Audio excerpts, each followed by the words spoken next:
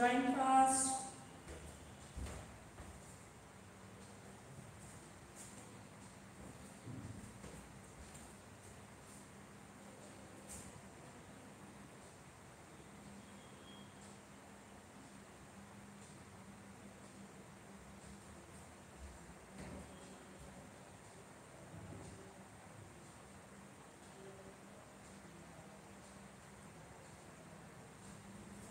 我们这一块。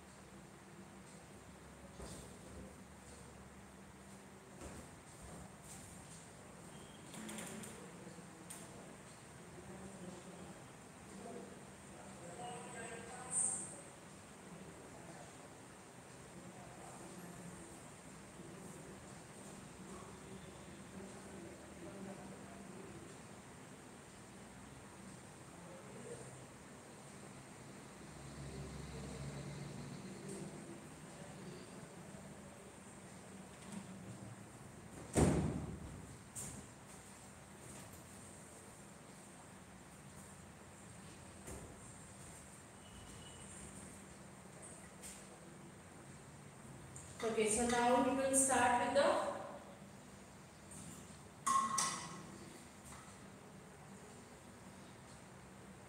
transcrição.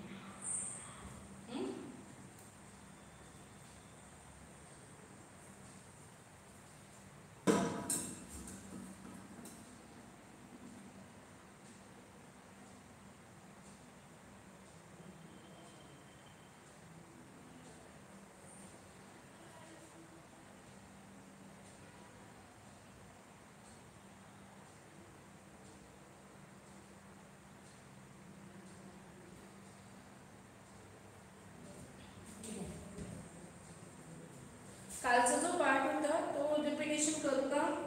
काल म्हणजे तुम्हाला ट्रान्सक्रिप्शन युनिटबद्दल सांगत होतं. सांगित सांगत होते तो पार्ट रिपीट करू का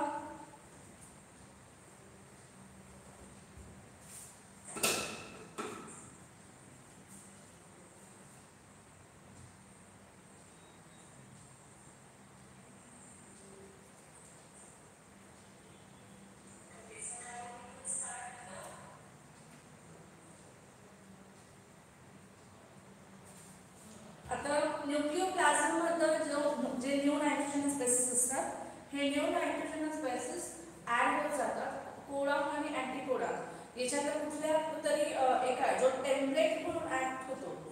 ठीक आहे? ज्याला complementary M R N A तयार करणार हा टेम्पलेट जो आहे याला अँटीसेन्स कोडॉन म्हणतात. आणि त्याच्या कॉम्प्लिमेंटरी जो असतो त्याला कोडिंग स्टँड म्हणतात आणि कोडिंग स्टँडला सेन्स कोडॉन असं म्हणतात. आणि sense कोडॉनला according M R N A जो आहे हा सिंथसाईज केला जात असतो. ठीक आहे? सो अशा पद्धतीने ही ओव्हरऑल प्रोसेस चालत असते. R N A main important जे कॅरेक्टर आहे ते प्ले करत असतो. आता एम आर एन ए जेव्हा सिंथसाईज होतो एम आर एन एचे दोन पार्ट असतात. इंट्रॉन्स आणि एक्झॉन्स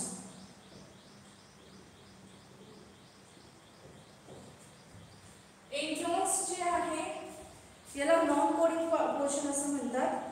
ओके? आणि एक्झॉन्स जे असतात हे कोडिंग सेक्शन असतं so introns are non coding exons are coding जो M R N A synthesize होतो या एम आर एन एच्या स्ट्रक्चरमध्ये कोडिंग आणि नॉन कोडिंग असे दोघं टाईपचे स्ट्रक्चर्स प्रेझेंट असतात. एक नॉन कोडिंग सेक्शन कशाचं आहे का प्रोफेसर सिंथेसिस करताना. नाही.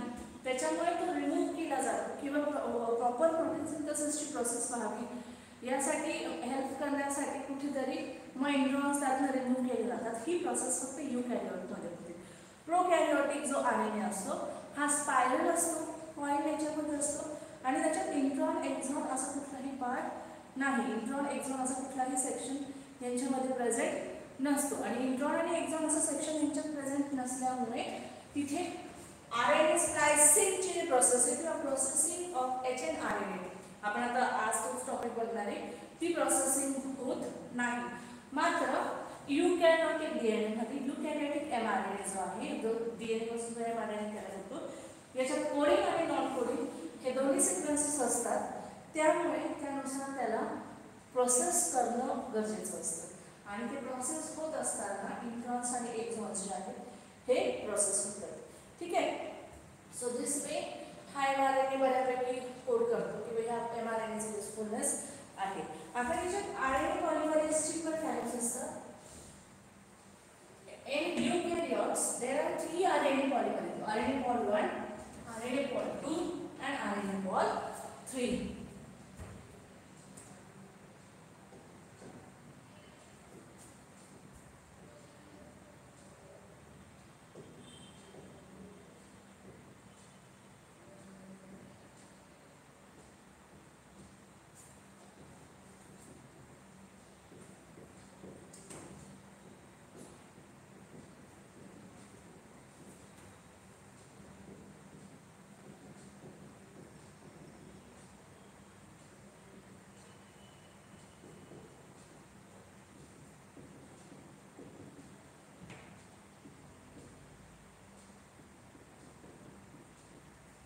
RNA polymerase one RNA polymerase two आणि RNA polymerase three.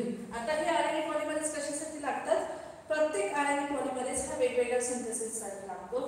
RNA pol one हा आर आरएनए ला ट्रान्सक्राइब करतो सो रायबोसोम ला आरएनए सिंथेसाइज करतो. आरएनए पॉल टू हा एम आरएनए ला ट्रान्सक्राइब करतो किंवा एम आरएनए सिंथेसिससाठी यूजफुल ठरतो आणि आरएनए पॉल थ्री हा T RNA and small nuclear RNA synthesize करतो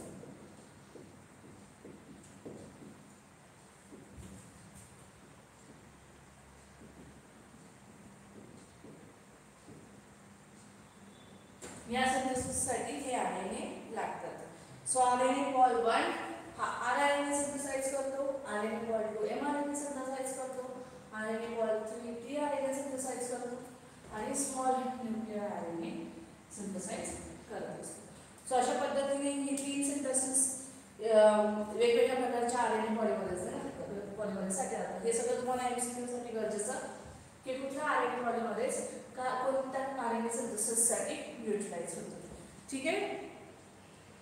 So transcription unit and gene यांच्यामध्ये आता प्रोसेस कशी होणार ते छोटे छोटे हे वन मार्कचे क्वेश्चन्स आहेत. जे आता आपण कव्हर करतोय. एनसीक्यू म्हणा किंवा one mark question R N A pol one is utilize for synthesis of what R N A pol two is utilize for synthesis of what अशा पद्धतीने.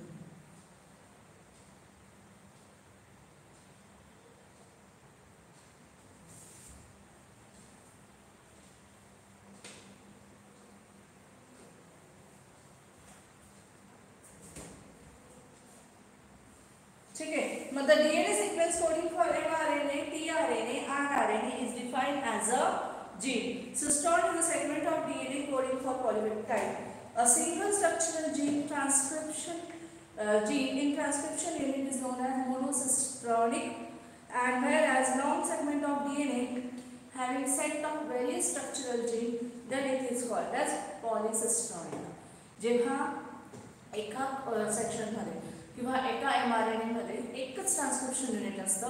म्हणजे एका वेळेस एकच एन्झाईम सिंथेसाईज होणार असतो. त्यावेळेस त्याला पॉली मोनोसिस्ट्रॉनिक युनिट असं म्हणतात. आणि जेव्हा डी एन एच्या सेगमेंटमध्ये म्हणजे सिस्ट्रॉनवर एकापेक्षा जास्त ट्रान्सक्रिप्शन युनिट आहे म्हणजे तो पर्टिक्युलर डी एन ए जो आहे हा डी एन एपासून तयार होणारा एम आर एन वेगवेगळे एन्झाईम किंवा एक कॉम्प्लेक्स तयार करतो. वेगवेगळ्या एन्झाईमचं त्यावेळेस त्याला पॉलिसिस्ट्रॉनिक असं म्हणतात. आता हे कसं आहे माहिती का? डीएटीचे सेगमेंट्स बघायचे. सिस्टॉन न्यूट्रॉन अँड रेकॉन तीन पार्ट असतात बरोबर?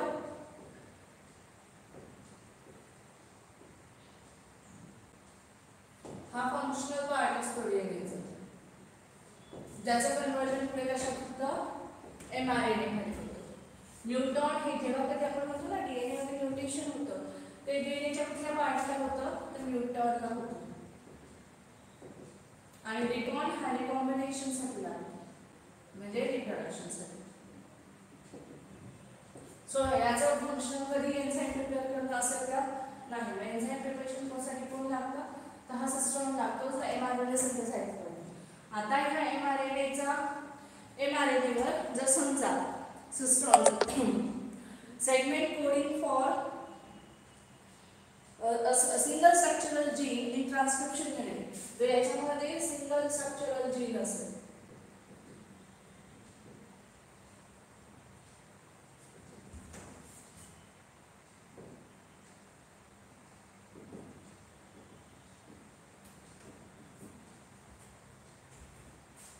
Is called as cistron sorry याला म्हणतात monocistronic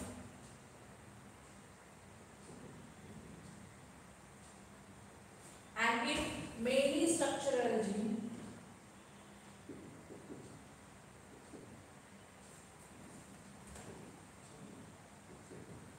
in transcription unit is present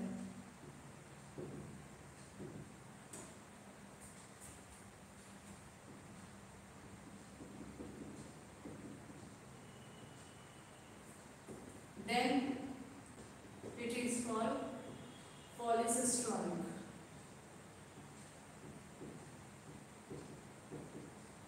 त्यावेळेस त्याला काय म्हणतात पॉलिसिस्टॉनिक शॉर्टमध्ये किंवा हे आता हे झालं सायंटिफिक लँग्वेज सिंपल सिंपल लँग्वेजमध्ये लक्षात ठेवायचे मोनोसिस्ट्रॉनिकचा मिनिंग काय only one enzyme is synthesized और only one protein is synthesized मग ते एन्झाइम असू द्या हॉर्मोन्स असू द्या काही असू द्या. ठीक आहे? सो इथे only one protein is synthesize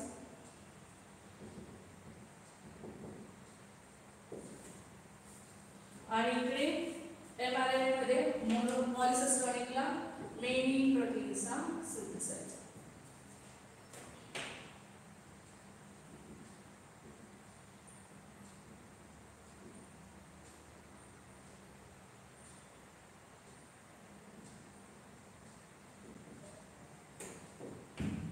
वेगवेगळे जास्त प्रोटीन त्याच्यामध्ये काय करतं. सनसाईज होत असतं.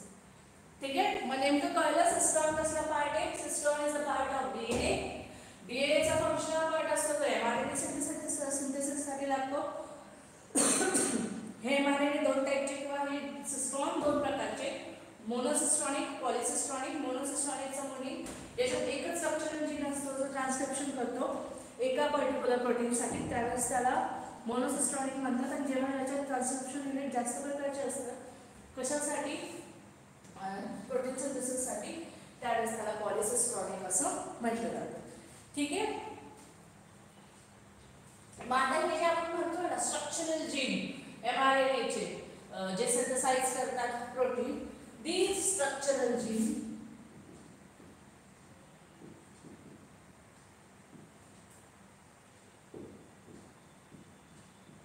have two parts. Introns and exons. Introns and the non-coding section.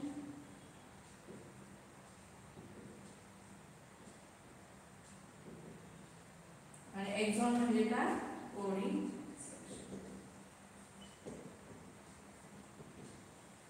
मग जी प्रोसेस असते जी आपण आता मेन प्रोसेस बघणार आहे की एम आर एन ए ट्रान्सलेशनच्या प्रोसेसने प्रोटीन सिंथेसाइज करायच्या आधी त्यातनं हे जे इंट्रॉन्स आहेत ना हे इंट्रॉन्स रिमूव्ह होणं खूप गरजेचं असतं. आणि ते रिमूव्ह करण्याची प्रोसेस आहे processing of H N R N A और processing of hydronucleated R N इथपर्यंत कळलं आहे छोटे छोटे कन्सेप्ट समजलं का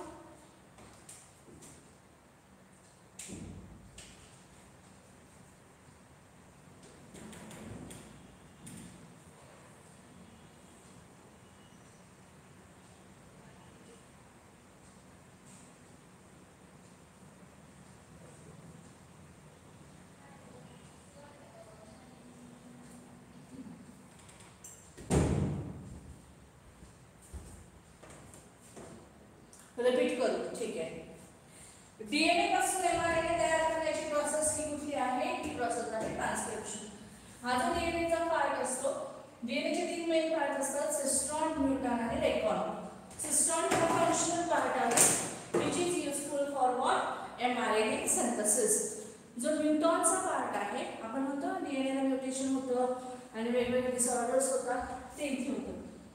आणि रिकॉन हा रेकॉम्बिनेशनचा पार्ट आहे. जर डीएनएचा न्यू मेडिसिनसाठी फंक्शन करत असतो मग आता हा सिस्ट्रॉन जो आहे हा सिस्ट्रॉन जर एम आर एन एमध्ये कन्वर्ट होतो त्यावेळेस जर त्या सिस्ट्रॉनमध्ये एकच स्ट्रक्चरल जीन असेल. एकच स्ट्रक्चरल जीन म्हणजे काय? एकच एन्झाईम सिंथसाइज होतो. ठीक आहे? तर त्यावेळेस त्याला आता आपण बघितलं ट्रान्सक्रिप्शन डी एनमध्ये काय काय असतं? डीएनएचं ट्रान्सक्रिप्शन युनिट आहे. तर त्याच्यात काय काय असतं? प्रमोटर स्ट्रक्चरल जीन आणि ऑपरेटर ते स्ट्रक्चरल जीन जेव्हा एकच स्ट्रक्चरल जीन असेल ते एकच एन्झाईम सिंथेसाइज त्यावेळेस त्या सिस्टॉलला म्हणतात मोनोसिस्टॉलिक डीएनए आणि ज्यावेळेस एका वेळेस जास्त ट्रान्सक्रिप्शन युनिट आहे म्हणजे एका वेळेस जास्त एन्झाईम सिंथेसाइज होतील त्यावेळेस त्याला काय म्हटलं म्हटलं जातं पॉलिसिस्टॉनिक युनिट मग आता हे जे स्ट्रक्चरल जीन आपण म्हणतो या स्ट्रक्चरल जीनमध्ये दोन पार्ट्स असतात. इंड्रॉन्स आणि एक्झॉन्स एक्झॉन इंट्रॉन्स काय? हा नॉन पार्ट आणि एक्झॉन्स काय आहे? तर कोडिंग सेक्शन आहे. म्हणजे it is actually code for protein हा पोर्शन जो आहे, हा प्रोटीनला कोड करतो. तो इंट्रॉन्स कुठल्याही प्रोटीनला कोड करत नाही. मग यू कॅरिओटिक डीएनए मध्ये यू कॅरिओट्सचा जो डीएनए आहे, हा या यू कॅरिओटिक डीएनए मध्ये, हा इंट्रॉन्स रिमूव्ह करण्याची जी प्रोसेस आहे, याला म्हणतात प्रोसेसिंग ऑफ़ एमआरएनए और सिम्पली त्या प्रोसेसला म्हणतात आर एन ए स्प्लायसिंग कळलं? ते आपण पुढे बघूया. इथपर्यंत कळलंय? आणि हे सगळं यू कॅरिऑट्स होतं लक्षात ठेवा. आता समजलं?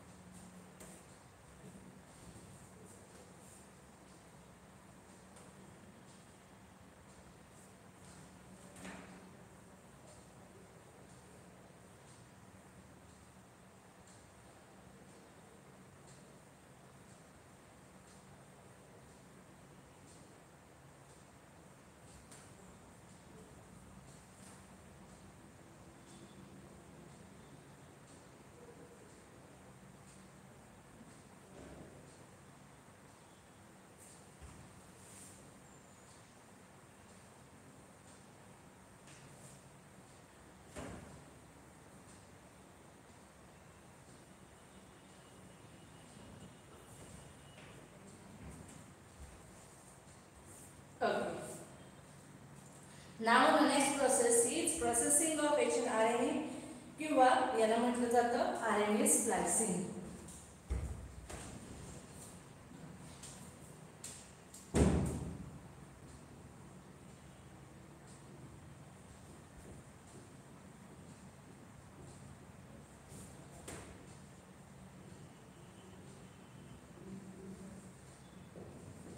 याला म्हटलं जातं आर एन ए स्प्लायसिंगची प्रोसेस ठीक आहे?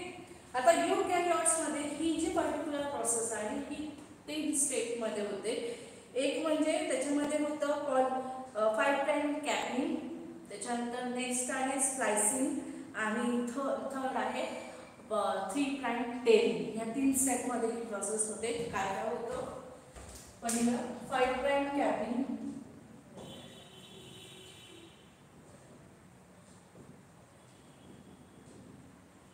Second, RNA splicing.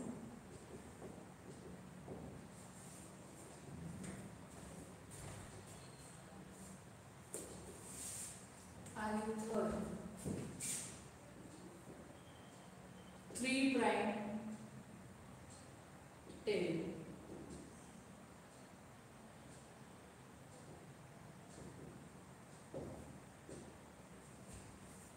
जे डायग्राम आहे ती डायग्राम जर मी तुम्हाला समजली तर ह्या ही ही जी पूर्ण प्रोसेस आहे ना ही प्रोसेस कळेल जस्ट मला टू मिनिट्स द्या.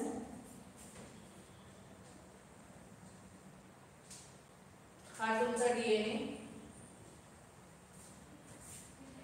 ठीक आहे ट्विस्टेड फॉर्ममध्ये डीएनए प्रेझेंट आहे.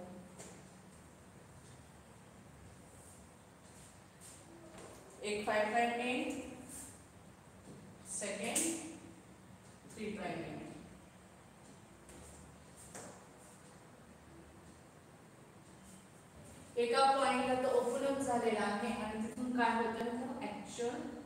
प्रोसेस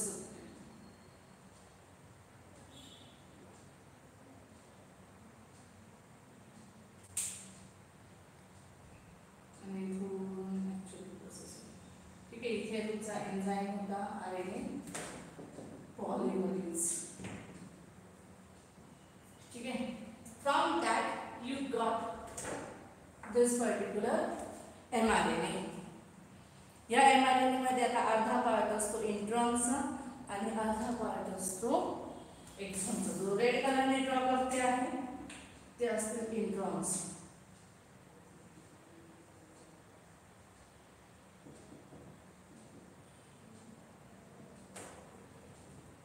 आणि जे ब्लॅक कलरचे आहेत दॅट आर एक्झॉन्स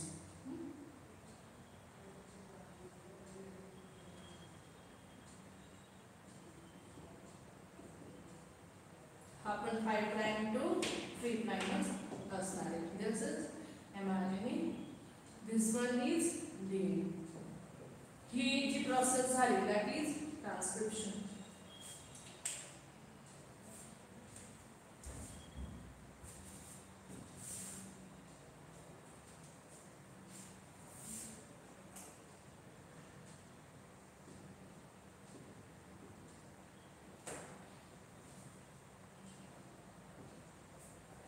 नंतर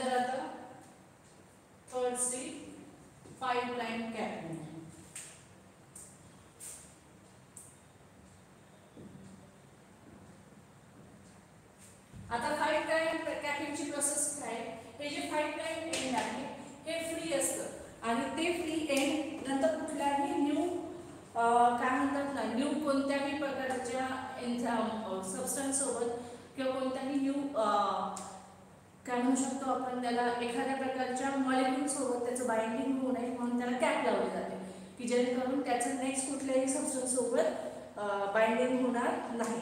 That process is called as five prime आणि ही प्रोसेस होत असताना काय केलं जातं तर फाईव्ह प्राईम कॅपिंगमध्ये गॉनिन फॉस्फेट गॉनिन ट्रायफॉस्फेट एक गॉनिन आणि तीन फॉस्फेटचे मॉलिक्युल्स त्याला ॲड केले जातात या साईडला सो जेव्हा मी आता हे ड्रॉ करेन फायमारीने इथे हा जो फर्स्ट पोर्शन आहे या फर्स्ट पोर्शनला ट्रॅक हॉस्पिटल फाईव्ह प्राईमला आणि इथे ही अशी कॅपस म्हणतात की जेणेकरून हा जो पार्ट आहे हा पार्ट कोणासोबत परत सिक्वेन्स होणार नाही.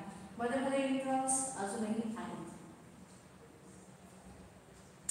this is three prime end ही झाली फर्स्ट स्टेप ठीक आहे? नाव सेकंड स्टेप आहे आर एन एस स्लायसिंग आता हा पोर्शन आहे हा स्लाइस केला जातो. इथे स्लायसिंग होते. सेकंड स्टेपमध्ये. कशा पद्धतीने? प्रथम हा पोर्शन आहे आर एन एचे सगळे इलेक्ट्रॉन्स एकत्र येतात आणि हा इलेक्ट्रॉनचा पोर्शन आहे असा राऊंड केला जातो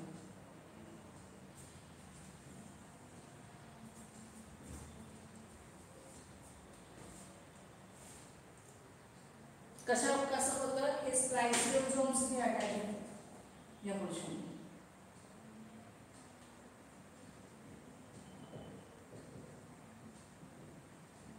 आणि ते इंट्रॉनच्या पोर्शनला कट करतात आणि लास्टला थ्री प्राईम टेलिंग हा जो थर्ड एक पार्ट असतो आता इथे फाईव्ह प्राईम कॅपिंग झालेला आहे म्हणून जी पी पी तिथल्या पोर्शन आणि जो टेलिंगचा जो पोर्शन असतो ना टेलिंग सुद्धा केलं जातं टेलिंगच्या पोर्शनमध्ये ॲडेनिनचे बरेचसे molecules repeated unit adenine adenine adenine adenine अशी पूर्ण टेन तयार केली जाते थ्री प्राईम आणि कालच मी सांगितलं की प्रोसेस टर्मिनेट करायची असेल तर कधी पण अशा पद्धतीने रिपीटेड युनिट्स जे आहेत ना हे रिपीटेड युनिट्स ॲड केले जातात. की जेणेकरून त्या सेल्सला ते रेकग्नेशन होतं की ही प्रोसेस इथे स्टॉप करायची आहे. आणि दिस इज युअर आता प्रॉपर एम आर जो ट्रान्सलेशनसाठी यूज होणार आहे. कळायला आता हा तुमचा proper messenger R N form झाला.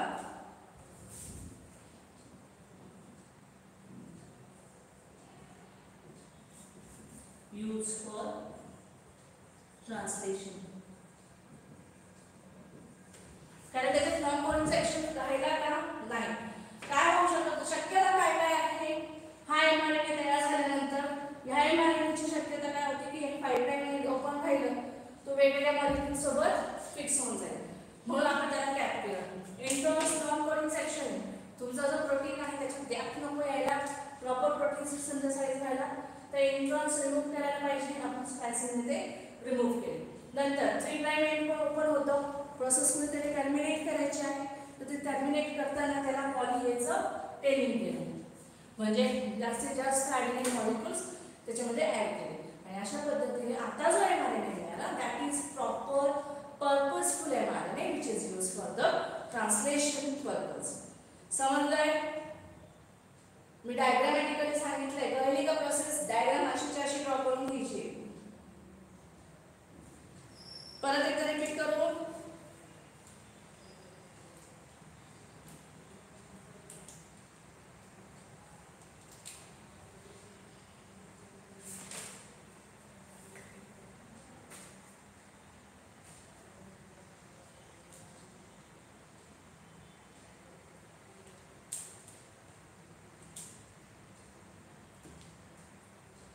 एच एन आर एन एचा फुल फॉर्म कोणीच मला विचारलं नाही. एच एन आर एन एचा फुल फॉर्म असतो.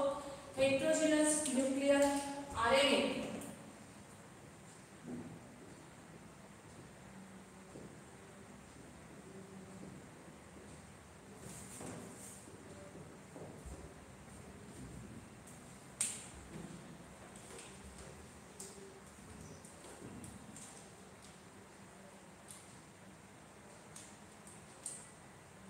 okay आपण ओव्हरऑल पूर्ण प्रोसेसच मी डायग्राम कसं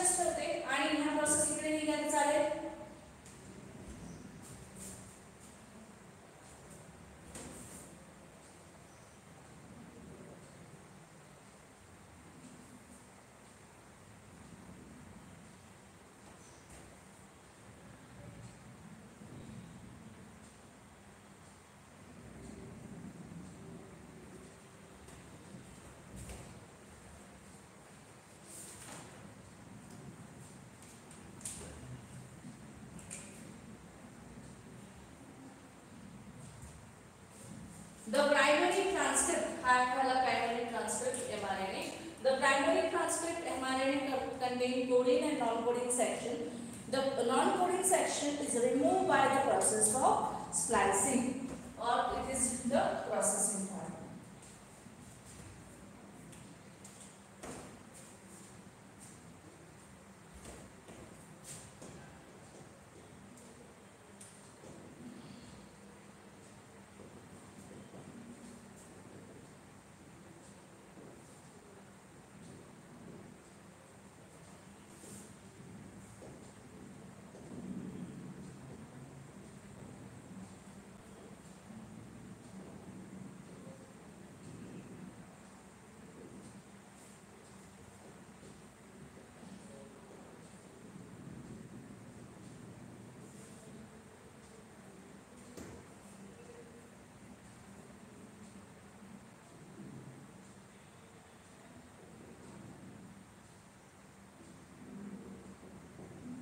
removing the processing.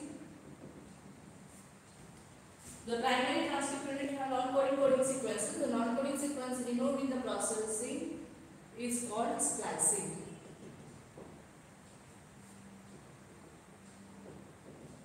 Which is done in three steps.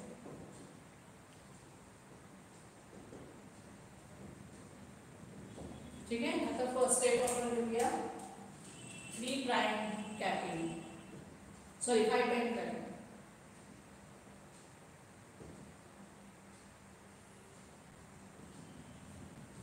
five prime capping आता फाय प्राईम कॅपिंग मध्ये काय होतं?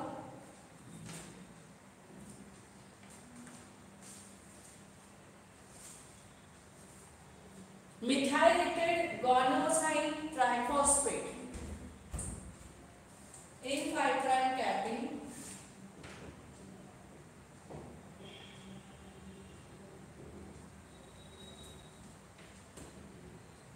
methylated gonosine triphosphate हा जो जी पी पी दिलेला आहे तो मिथायलेटेड असतो. म्हणजे मिथिलीने ट्रीट केलेला असतो. इज अटॅच टू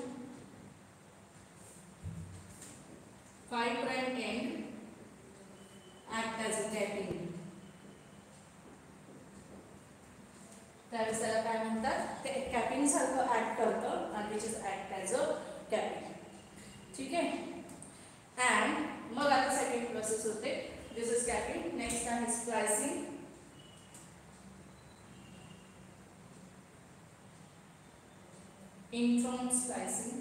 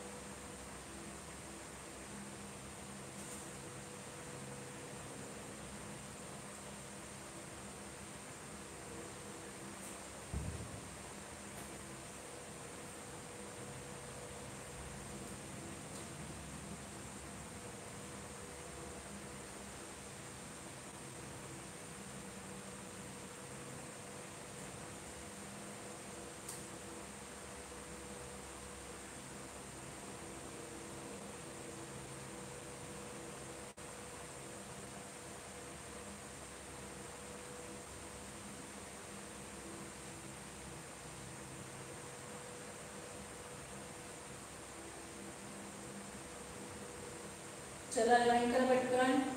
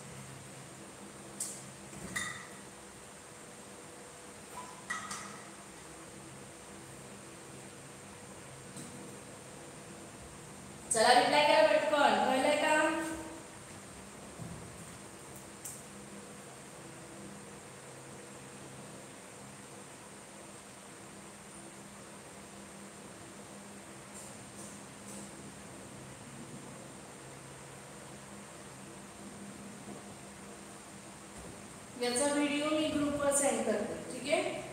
म्हणजे तुम्हाला प्रोसेस ऑफ आर एन काय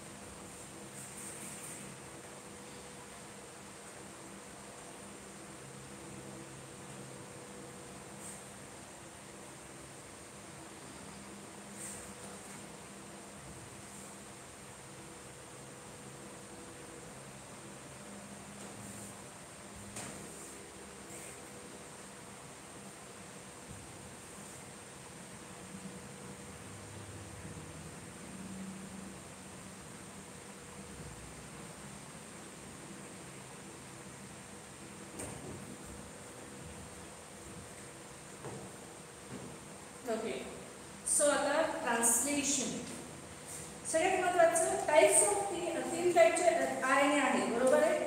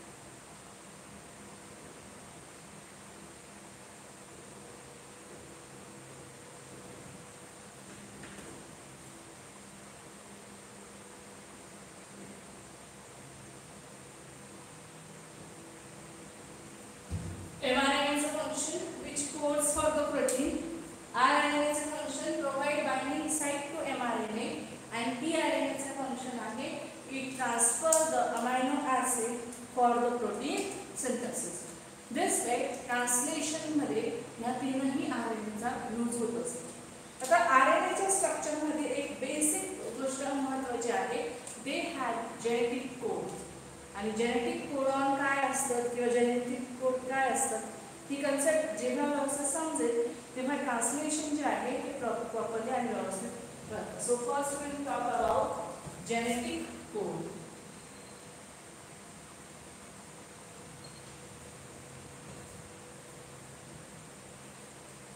What is genetic code then?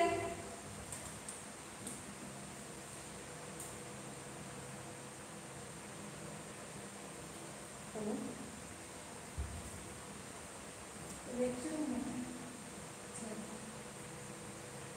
lecture चालू आहे.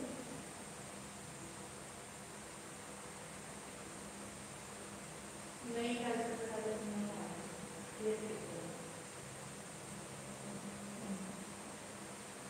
सो जेनेटिक कोडमध्ये जेनेटिक कोड कशासाठी यूज करतात? तर already known as a D N A master जो एम आर एन आहे आपण म्हणतोय की हा एम आर एन ए जो आहे हा काही ना काही मेसेज घेऊन जातो. आणि मेसेज घेऊन गेल्यानंतर त्याच्यानुसार जे जेनेटिक जेन्स जे असतात काही कोड केलेले असतात. सो प्रोटीन सिंथेसिसच्या प्रोसेसमध्ये असं समजा जर ट्रॅक दाखवला जातो ना की कुठलं प्रोटीन कोण सिंथेसाइज करणार? किंवा कोणता T R N A amino असेल एक तुम्हाला शॉर्ट प्रोसेस सांगते हा एम आर एन ए आहे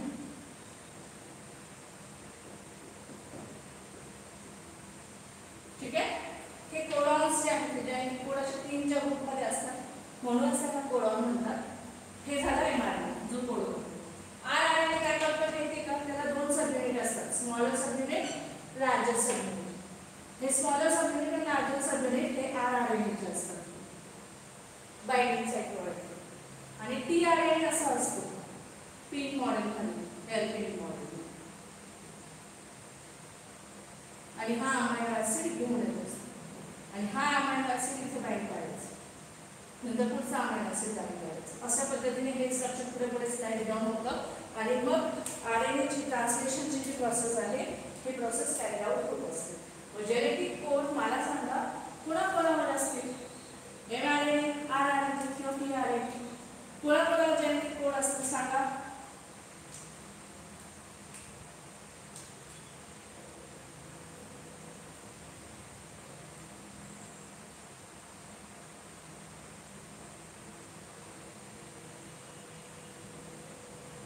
बोला असं काय माहिती तर नो आयडिया म्हणा.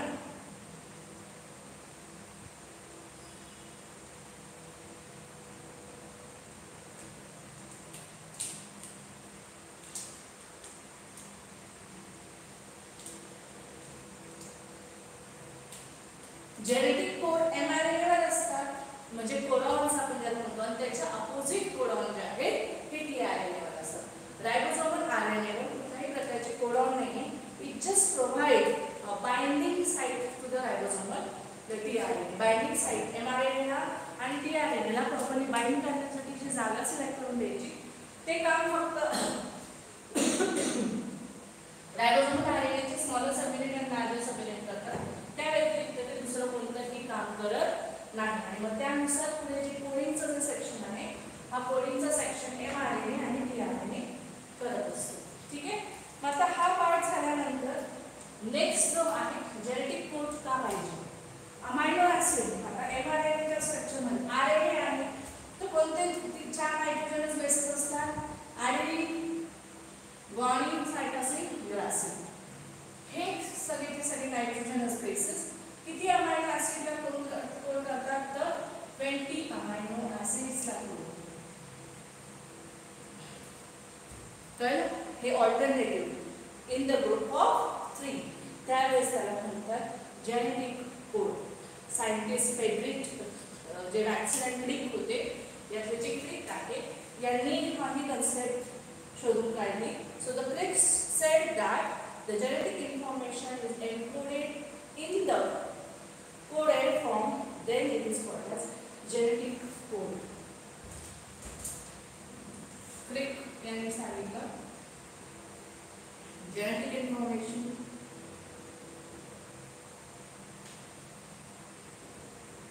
coded in sequence called as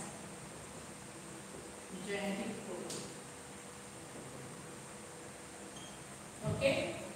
And it is present in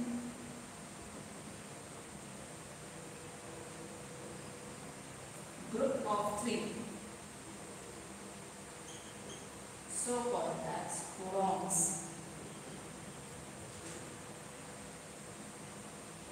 तीनच्या ग्रुपमध्ये असतात त्यामुळे त्याला काय म्हटलं जातं तर कोडॉन्स असं म्हणत असतं.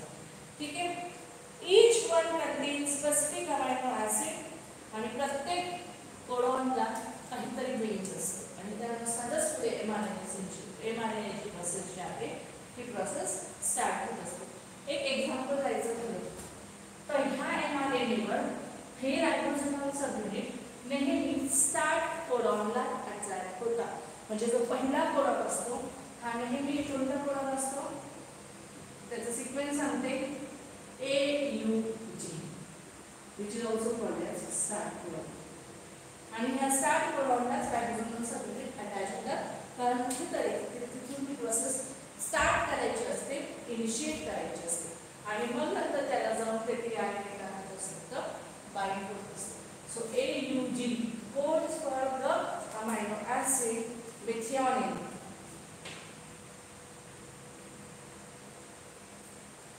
म्हणजे ए यू जी ही कोड लँग्वेज कोणत्या अमायनो ऍसिडसाठी आहे? मिथेनॉइन मग हा जो टी आर एन आहे हा टी आर एन कोणता अमायनो ऍसिड घेऊन येणार? तर मिथेनॉइन कळलं आणि आता याच्यावर जे असतात हे असतात अँटीकोडोन कारण का? त्यांचे पेअरिंग होतं ना मग इकडे जर ए यू जी असेल तर अँटीकोडॉन काय ॲडमिनच्या अपोजिट युरासिन एच्या अपोजिट गॉइन ॲडेनिन आणि सी सो याच्यावर अँटीकोडॉन काय असणार आहे? यू ए सी मग यांच्यामध्ये adenine is always pair with uracil in the structure of RNA by double bond and body is pair with cytosine the triple bond मग यांच्यात बॉन्डिंग होते आणि मग हा टी आरएनए जो आहे हा आणला कळलं? टी आर एन आणला हे जे स्ट्रक्चर आहे ना हे थोडंसं पुढे सरकतं. मी दुसरी डायग्राम काढतो त्याच्यासाठी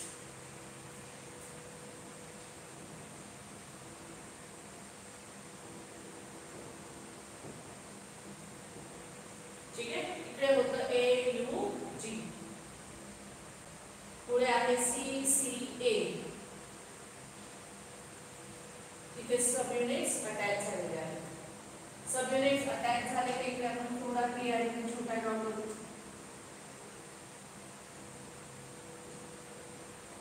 ए यू जी च्या अपोजिट कुठला अमायनो ऍसिड आणतात मिथेनॉइन ठीक आहे मग आता सेकंड आहे दुसरा टी आर एन ए हा दुसरा टी आर एन ए दुसरा अँटीकोडॉन घेऊन येणार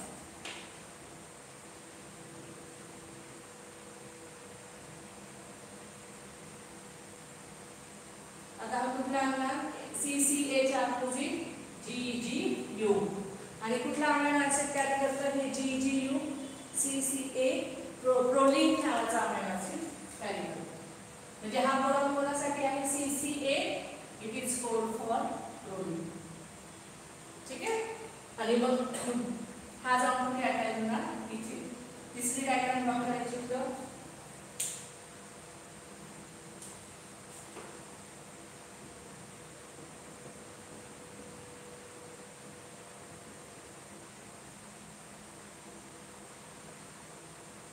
हे सब युनिट आता थोडंसं पुढे सरकणार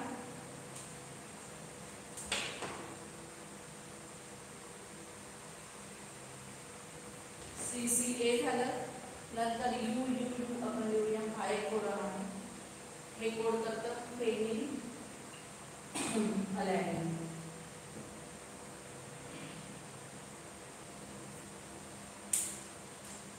इकडे एक अमायनो ऍसिड अटॅच होता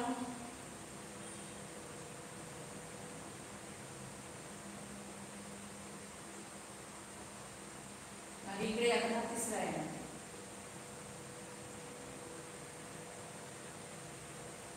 हम्म?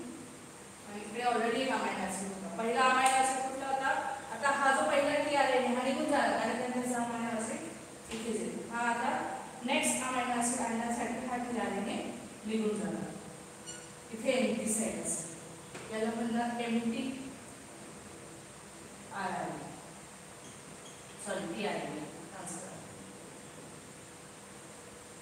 पहिल्या याच्यात असतो मिथ्रॉनिन दुसऱ्या याच्यात प्रोलीन तिसऱ्या याच्यात आणि फेलिन आलायन असं हे स्ट्रक्चर पुढे पुढे सरकत जाईल मग हा याला ॲटॅच हा याला अशी तुम्हाला प्रोटीनची पूर्ण चेन मिळते अशा पद्धतीने जेनेटिक कोड जे आहेत हे जेनेटिक कोड कोड करत असतात फॉर स्पेसिफिक अमायनो ॲसिड समजलं जेनेटिक कोड म्हणजे काय तुम्हाला मी ओव्हरऑल ट्रान्सलेशनची प्रोसेसच थोडक्यात सांगितलेली आहे जेनेटिक कोड काय असतं पहिलं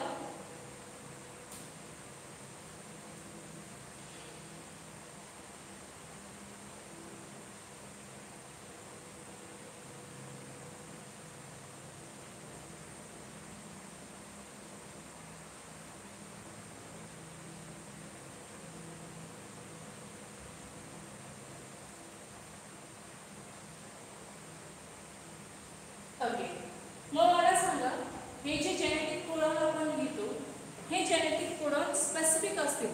जर चार अमायनो ॲसिड ट्वेंटी अमेरिकन तर रिपीटेड असू शकतात का?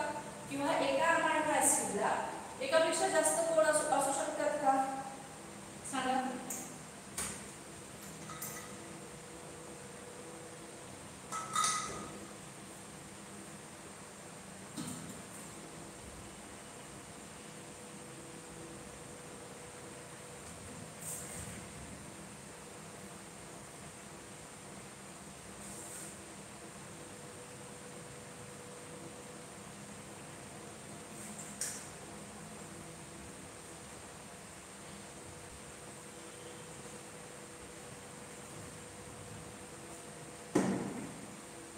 येस असतात तर जवळजवळ हे जे कोडॉन्स बनवले आहेत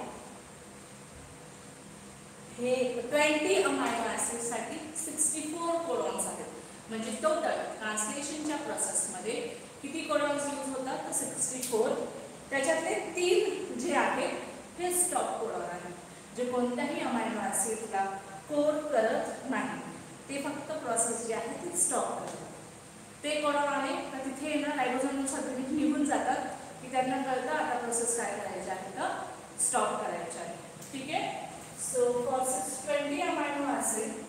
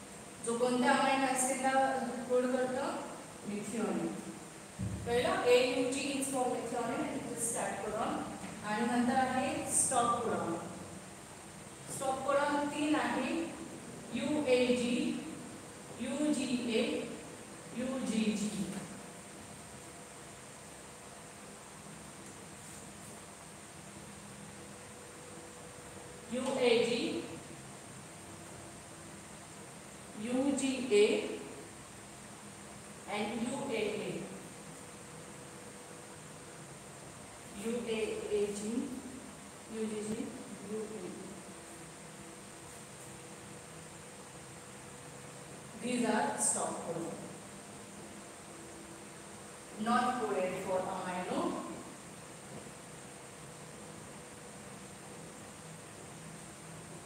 Just useful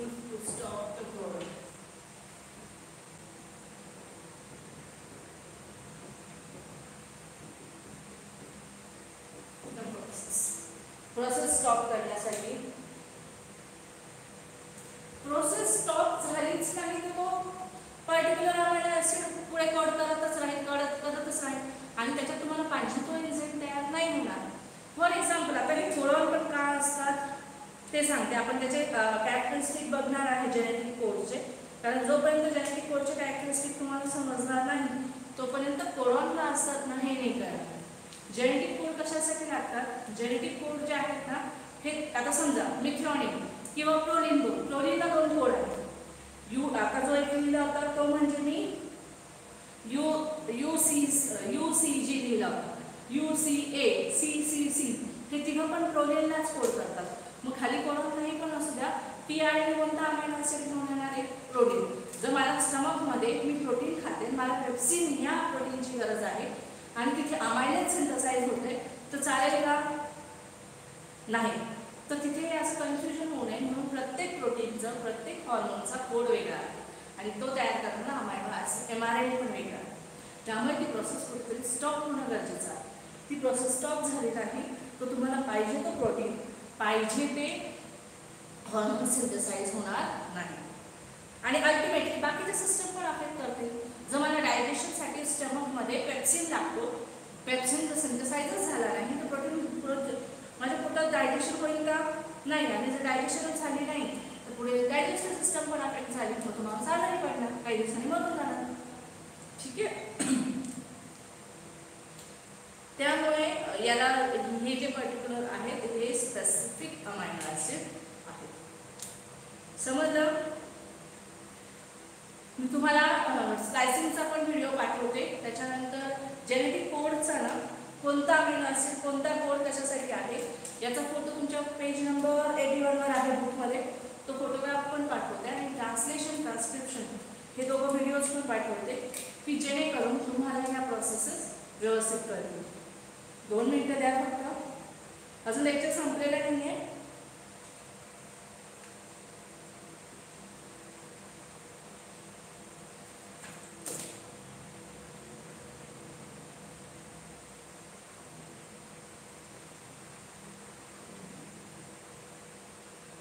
हे बघा.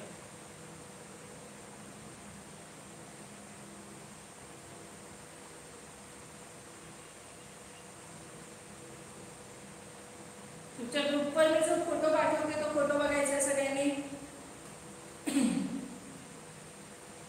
अशा पद्धतीने हे सिक्स्टी फोर कोडॉन आहेत सी ने स्टार्ट होणारे ए ने स्टार्ट होणारे की जे कोड करतात स्पेसिफिक अमायनो ऍसिडला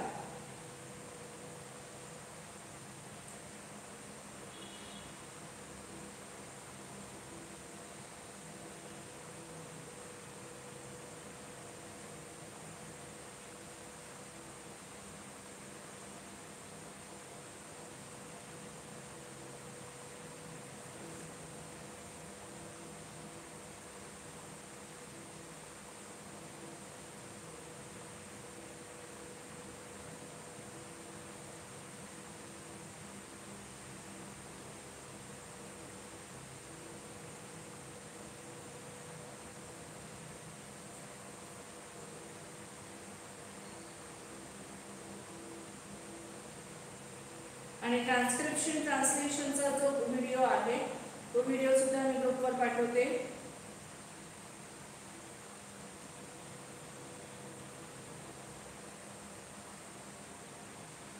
तुम्हाला या कन्सेप्ट खूप पटकन समजतील व्हिडिओ आता बघू नका फक्त कोडॉन्स जे आहेत ना ते बघितले का मला सांगा बॅक टू आर लेक्चर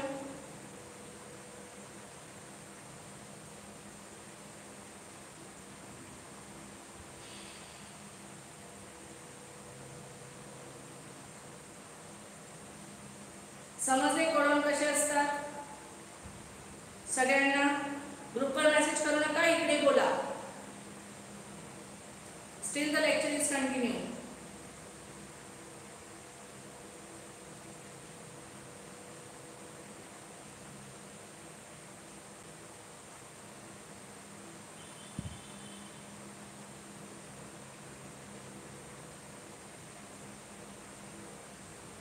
ठीक आहे? So this way the codons are मग ह्या कोडॉनचे ना काही कॅरेक्टरिस्टिक फीचर्स असतात.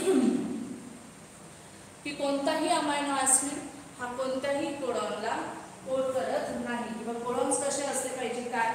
हे एकदाच एका माणसाने बनवलेले आहे ते नंतर नंतर तयार परत परत तयार केलेले नाही. Characteristic features of codon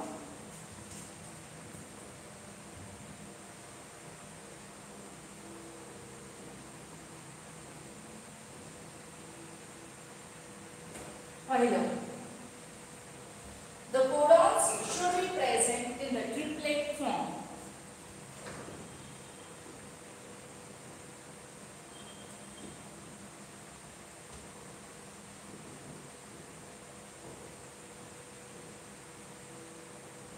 Codon नेहमी तीन मध्येच असले पाहिजे ऍक्च्युली त्याचं नावच कोडॉन याच्यासाठी दिले कारण ते तीन मध्ये प्रेझेंट असतात आणि तुम्ही बघितलं की टी आर एनवर तीन अँटी कोडॉन असतात त्यामुळे दोन असतील तर ते डॉक्सिड अमायनो ऍसिडला कोड करणार नाही आता तुम्ही चार्ट पण बघितला त्या चार्टमध्ये तीन लेटर्सच कोडॉन आहे. टू लेटर्सचे कोडॉन आहेत का? नाही त्यामुळे codon should be in the triplet form कोडॉनला स्वतःची अशी पोलॅरिटी असली पाहिजे. Codon should have polarity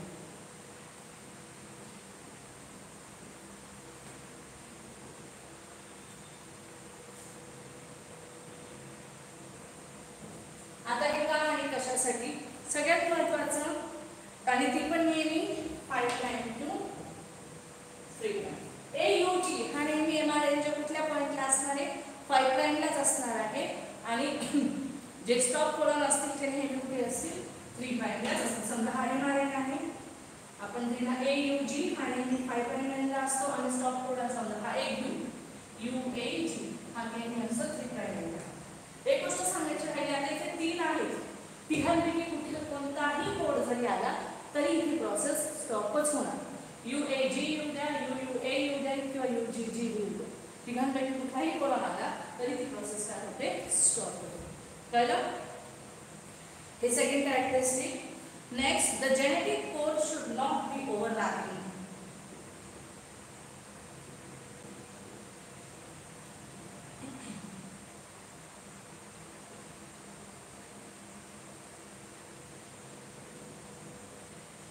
genetic code हे एकमेकांना ओव्हरलॅप केलं नाही पाहिजे. म्हणजे एका वेळेस चार अमायनो असतील एका वेळेस तीन. तीनचे कोडॉन आहेत ना तीन तीनच्या ग्रुपमध्ये आहे ना ए यू जी इथे सी नको यायला पाहिजे. किंवा इथे टी नको यायला असं आलं तर प्रॉपरली काय म्हणायचं ट्रान्सलेशन म्हणजे ती आर एन समजणारच नाही त्याच्या कोडॉन कोणत्या आहे बरोबर आहे तो कुठेही पाहिजे समजा तुम्हाला इथे U A sorry A U G पाहिजे आणि तो कोड होताना यू जी जी ला कोड झाला तर एकाच समय असेल म्हणून बरोबर आहे त्यामध्ये ओव्हरलॅपिंग नसू नको तीन तीन कोडॉन जे आहेत ते सेपरेटेड फॉर्ममध्ये असले पाहिजे. Next codon should not be should be commaless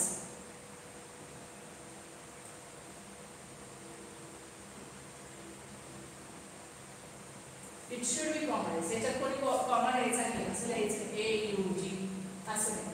जर कोड लिहित असाल तर ते टोटली ए यू जी तर ए यू जीच्या फॉर्ममध्येच कोड असला पाहिजे. जेनेटिक कोड हॅज डिजनरसी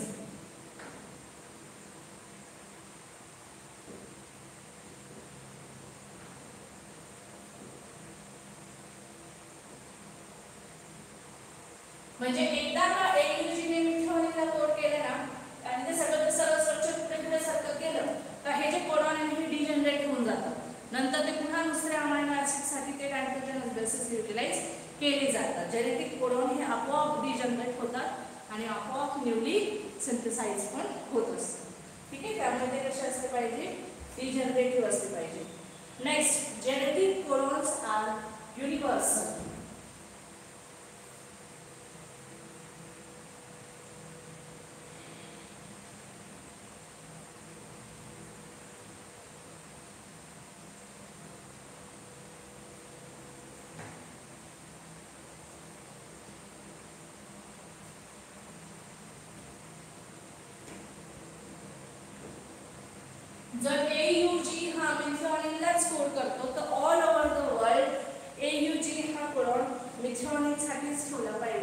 universally तो सेम असला तरच आपण त्यांना प्रॉपरली काय करू शकतो?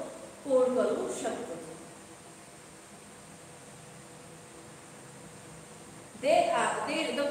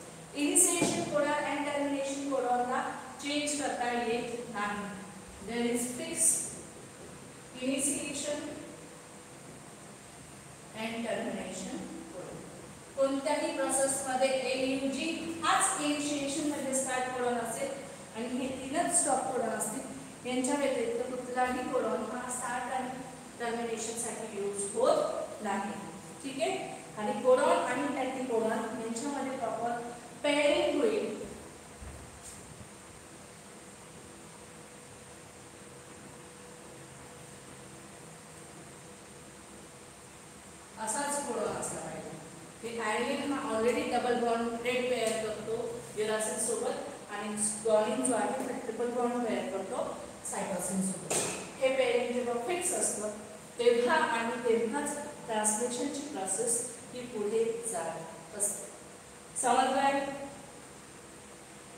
समन्वय कोण काय असतात? बोला वाटतं. कोणाला काही डाऊट असेल तर विचारा.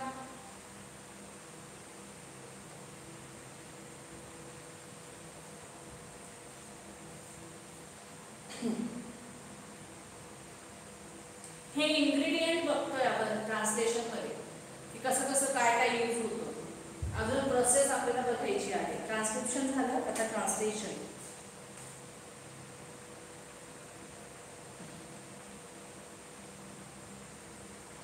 सगळ्यांना प्रॉपरली व्यवस्थित समजलंय काही डाऊट नाहीये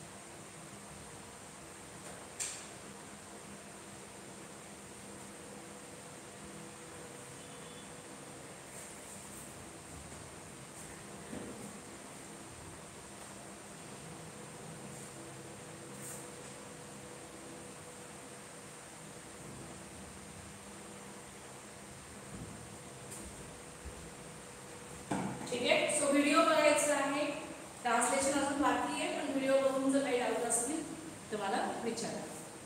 ठीक so this is all about today. Thank you so much.